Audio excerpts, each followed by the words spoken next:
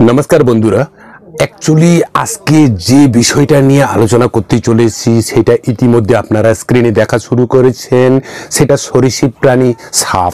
এই সাপের বিষয়ে বিস্তারিত আলোচনা করার আগে আমি বলতে চাই যে সমস্ত প্রাণীদের বিভিন্ন রকম তাদের আচার আচরণ সম্পর্কে একটা প্রাথমিক অভিজ্ঞতা তৈরি করলে পরে তাদের সঙ্গে ভুল বুঝাবুঝির সৃষ্টিটা কম হবে। সেই জন্য আমাদের জনমানসে এ ব্যাপারটা বিস্তারিত আলোচনার জন্য আপনি যদি আমার চ্যানেলে নতুন হয়ে থাকেন তাহলে একটু এই ভিডিওটা ঠিক নিচে অল্প ডান দিকে দেখুন সাবস্ক্রাইব বাটন রয়েছে। সেটা টিপে যদি আমার চ্যানেলে সদস্যতা গ্রহণ করেন সেই ক্ষেত্রে সম্পূর্ণ বিনামূল্যে আপনি কিন্তু স্টেপ বাই স্টেপ অনেক রকমের বন্যপ্রাণী সম্পর্কে জানতে পারবেন এবং তাদের বন্যপ্রাণী আইনের যে নতুন আপডেটগুলো এসছে, সেগুলো সম্পর্কে সম্পূর্ণ বিনামূল্যে জানতে পারবেন। পারলে একটু এই ভিডিওটার নিচে বাঁকানো যে তীরচিহ্নের মাধ্যমে বন্ধু বান্ধবকে শেয়ার করবেন, যার ফলে কিন্তু ওনারাও জানতে পারবেন এবং জনমানসে একটা জনসচেতনতা সৃষ্টি হবে সম্পূর্ণ বিনামূল্যে। তাহলে বন্ধুরা আজকে দেরি না করে চলুন, শুরু করা যাক।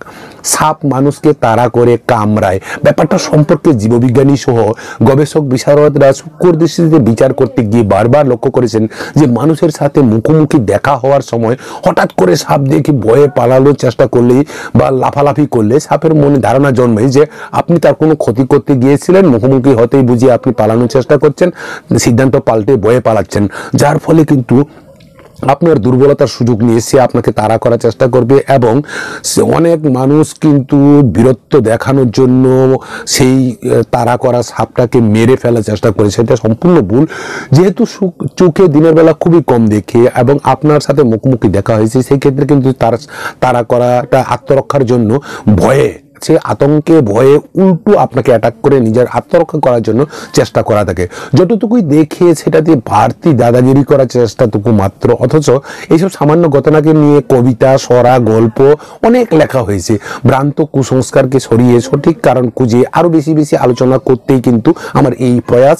সুতরাং আমার চ্যানেলে আপনারা যদি প্রত্যেক দিন ভারতীয় সময় সন্ধ্যে ছটা এবং বাংলাদেশের সময় সন্ধ্যে সাড়ে ছটায় আমার ভিডিওগুলো অনুসরণ করেন। সেই ক্ষেত্রে আপনারা সাবস্ক্রাইব করে রাখলে অটোমেটিকলি নোটিফিকেশনের মাধ্যমে কিন্তু আপনারা অ্যালার্টগুলো পেয়ে যাবেন এবং নিত্য নতুন বন্যপ্রাণী সম্পর্কে এবং নতুন আইনগুলো, বন্যপ্রাণী আইন কিন্তু আপনি না মানলে পরে আপনার আত্মীয় স্বজন বন্ধু বান্ধবরা হাজতবাস হতে পারে। আপনি নিশ্চয়ই চান না যে আপনার কোনো আত্মীয় স্বজন হাজতবাস হোক। সুতরাং তাদেরকে একটু জনসচেতনতা করার জন্য আমার ভিডিওটাকে শেয়ার করে দিন সম্পূর্ণ বিনামূল্যে, তার জন্য কোনো খরচ নেই। এছাড়া লাইক শেয়ার সাবস্ক্রাইবের মাধ্যমে আমাকে যদি আরেকটু উৎসাহ যোগান, সেক্ষেত্রে কিন্তু আপনারাই প্রত্যেক দিন ভারতীয় সময় সন্ধ্যে ছটা এবং বাংলাদেশের সময় সন্ধ্যে সাড়ে ছটায় নিত্য নতুন ভিডিওগুলো সম্পূর্ণ বিনামূল্যে পাবেন। তাহলে আমার এই সত্য প্রয়াসকে একটু সাকসেস করার জন্য লাইক কমেন্ট শেয়ার সাবস্ক্রাইবের জন্য অনুরোধ করছি হাত জোর করে। বন্ধুরা, আজকে আমি একটা অনুরোধ করব যে আমার এই ভিডিওটা ঠিক নিচে অল্প ডান দিকে ছোট্ট করে মোর লেখা আছে, ইংরেজিতে এম ও আর ই মোর ওই মোর অপশানে টাচ করলে পরে কিন্তু আমার ইউটিউব চ্যানেল সম্পর্কে বিস্তারিত তথ্য এবং আজকের ভিডিওর সম্পর্কেও বিস্তারিত তথ্যগুলো ওখানে দেওয়া রয়েছে। সেখানটায় আপনারা আর একটু নিচে নামলে দেখবেন আমার ব্যক্তিগত সোশ্যাল সাইট ফেসবুক ইনস্টাগ্রাম টুইটারের লিঙ্কও দেওয়া রয়েছে। সেই লিঙ্কে টাচ করে আমাকে একটু ফলো করে আপন করে দিলে আপনারা অনেকগুলো বেনিফিট পাবেন। সেগুলো আমি একটু পরে আলোচনা করছি। তার আগে আসল কথাটা একটু আলোচনা করার চেষ্টা করব। বন্ধুরা, আমি অবাঙালি। তাই বাংলায় ভিডিও বানাতে গিয়ে আমার প্রচুর ভুলভ্রান্তি হচ্ছে। সেই ভুলভ্রান্তিগুলো আপনারা কমেন্ট সেকশনের মাধ্যমে একটু ধরিয়ে দিলে পরে আমি আমার ভুলগুলো শুধরে নতুন, ভালো, উন্নত মানের ভিডিও নিয়ে আপনাদের উপস্থাপনা করে আপনাদের উপহার দেওয়ার চেষ্টা করব।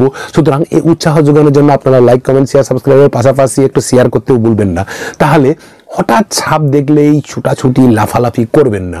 সাপ কিন্তু তখন আত্মরক্ষাতে তেড়ে আসতে পারে। ভয় পেলে মুটেও চলবে না। স্থির হয়ে দাঁড়িয়ে থাকুন, অন্যথা দাঁড়ের পাশে কাটিয়ে চলে যান। কেননা, স্থির হয়ে দাঁড়ালে পরে যেহেতু সে দিনের বেলায় কম দেখতে পায়, সুতরাং আপনাকে কিন্তু সে টার্গেট করতে পারে না। কিন্তু যেই আপনি নাড়াচাড়া করার চেষ্টা করেন, সেই ক্ষেত্রে কিন্তু ও টার্গেট মেরে সেই জায়গাতে সুবল মারবে, যার ফলে কিন্তু আপনি আহত হতে পারেন। দেখবেন সেও চলে যাবে, আপনি যদি স্থির হয়ে দাঁড়িয়ে থাকেন। সেই মতো সাপের পক্ষে মানুষকে চিনে রাখার মতো স্মৃতিশক্তি নেই। অনেকে বলে যে সেই সাপটা চিনে রাখে, প্রতিশোধ নেয়। এগুলো সম্পূর্ণ মিথ্যা কথা। খাবারের সন্ধানে ইঁদুরের মতো প্রাণীর খোঁজে মানুষের বাড়িঘরে কাছাকাছি ভুলক্রমে চলে আসে।